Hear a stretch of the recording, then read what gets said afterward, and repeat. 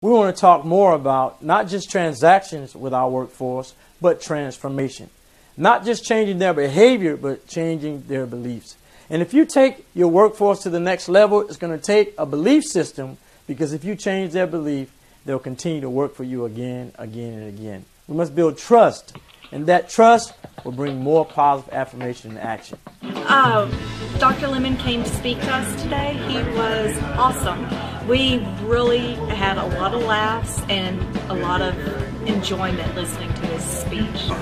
Here at Department of Interior, we thoroughly enjoyed Dr. Lemon's speech today. It was very enthusiastic, very interactive, and um, it did show us different perspectives that we're all different cultures, but we're all one humanity. So thank you very much for coming. And I'm telling you, this man presented a program that was so touching, so interactive, and so educational for all of our staff. I enjoyed Dr. Lemon so much. He was funny, but he was inspirational. Um, I hope that we can have him back again.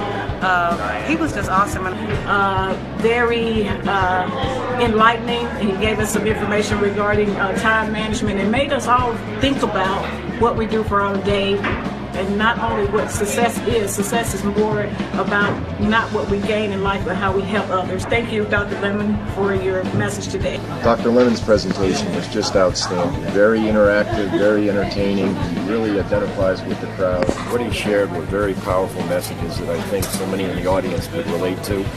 I hope that the people that were here in attendance uh, will, uh, those messages resonate with them and they will continue to apply them going forward. It really helped us understand differences and respect the uh, black uh, culture. And I think leveraging that diversity and respecting and understanding those differences will enable us to work even stronger as a team.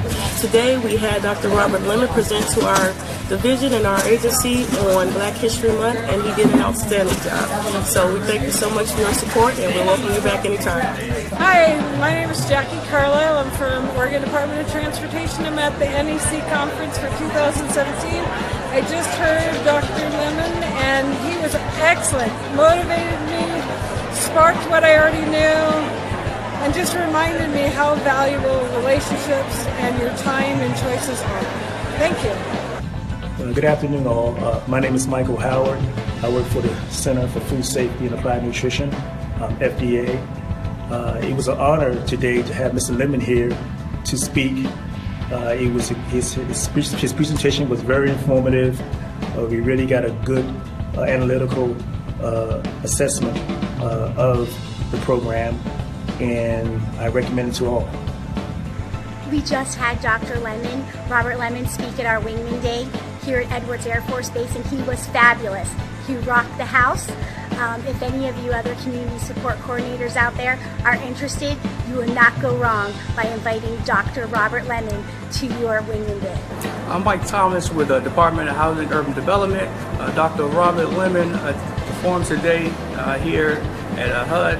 We, uh, did a great job, very entertaining, uh, very live. Presentation was well, was well received. Hopefully he can come back again. Good afternoon. My name is Robert Foy. I'm with the Department of Housing and Urban Development. I'm the Employee, Employee Development Director. Today at FY18 we had our first book series featuring uh, Dr. Robert Lemon, book entitled Now is Your Time, Nine Steps to Reach Your Full Potential. Participants loved it. We gave out 100 and so, 100 or so books. It was phenomenal. The, um, I mean, he went from one extreme to the next extreme, and our participants just simply enjoyed it. When I walked around and talked to people that participated in the book series, there were nothing but good things to say. Really appreciate his time that from coming in from Miami to do this book series for us today. We thank him, and he was outstanding. Thank you for taking time to watch this video. I'll be coming to an event near you soon. Have a nice day.